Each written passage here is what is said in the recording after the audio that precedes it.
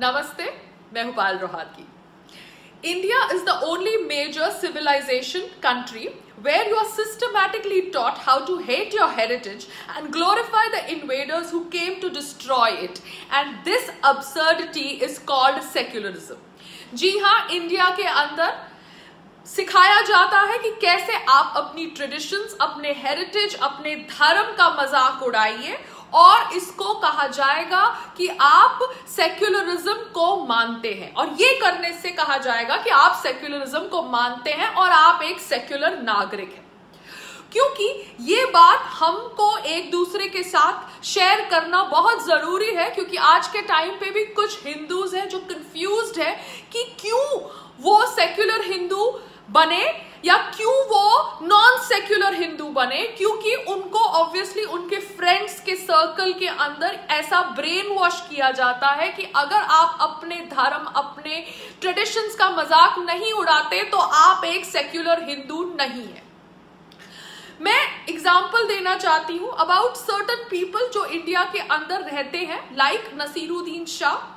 Naseeruddin Shah is an Indian Muslim but belongs to that gang of people जो ये absurd secularism की कहानी बेचते हैं to the non Muslims who live in India वो कभी तो कहते हैं कि India is unsafe for them when they want to sell the काल्पनिक स्टोरी ऑफ़ मॉब लिंचिंग जब वो ऑब्वियसली एमनेस्टी इंटरनेशनल के फेवर में, के सपोर्ट में आते हैं, क्योंकि एमनेस्टी इंटरनेशनल के ऊपर ईडी e छापा मारता है to trace its illegal funding क्योंकि Amnesty International is an agency organisation which works for certain vested people who belong to other countries of the world because Amnesty International नहीं चाहता है कि एक लॉ पास हो against those people who rape a child because अगर ऐसा law pass होता है then those people from minority class in India will be put behind bars due to the misuse of that law जी हाँ Amnesty international की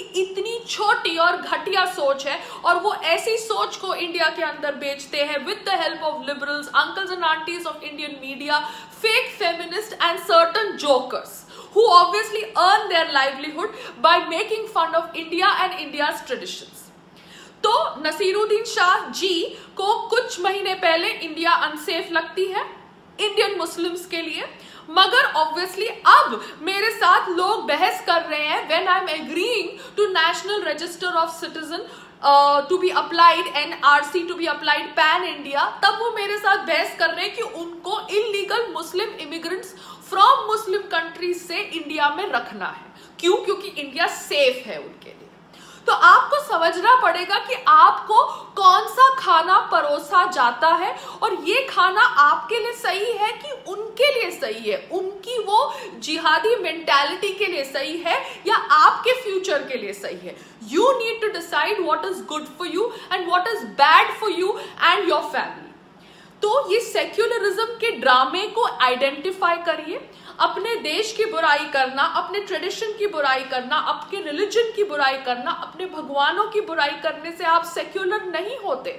आप secular तब होते हैं जब आप सही मायने में सभी लोगों को विलिंगली अपना धर्म फॉलो करने देते हैं हिंदुस्तान के अंदर because Hindustan has always been secular since its birth अगर ऐसा नहीं होता तो हम इन्वेडर्स को हमारे देश में बसने नहीं देते और वो कन्वर्टेड इन्वेडर्स के प्रोटेजी को एक्सेप्ट नहीं करते। आप लॉजिक समझ रहे हैं? इसके अलावा एक पैटर्न है जो मैं आइडेंटिफाई करने की कोशिश कर रही हूँ, जो ऑब्वियसली हम सबको आइडेंटिफाई करने की कोशिश करनी चाहिए। दैट मुस्लिम मेजोरिटी कंट्रीज़ से certain illegal Muslim immigrants non Islamic countries में आते हैं।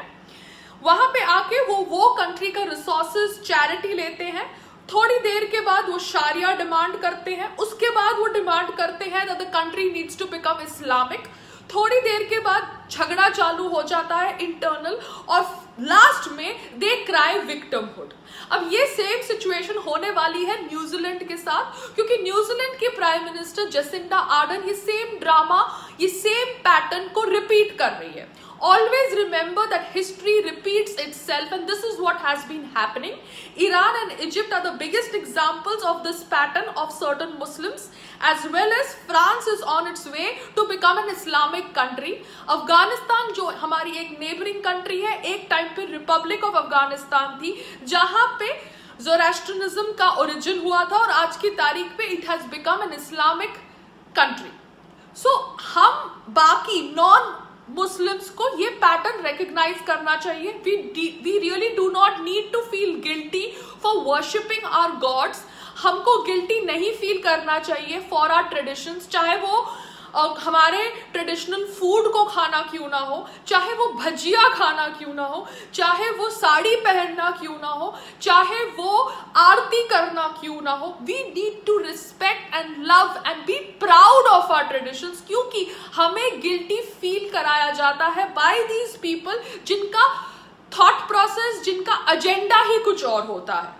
So my request to everybody is that please आप अपने ब्रेन को यूज़ करिए। आप अपने लिए डिसाइड करिए कि भारत, ये आपका देश है, ये सेफ़ है कि अनसेफ है? क्योंकि लोग आपको अपने फ़ायदे के हिसाब से गुमराह करते हुए आ रहे हैं इतने सालों से।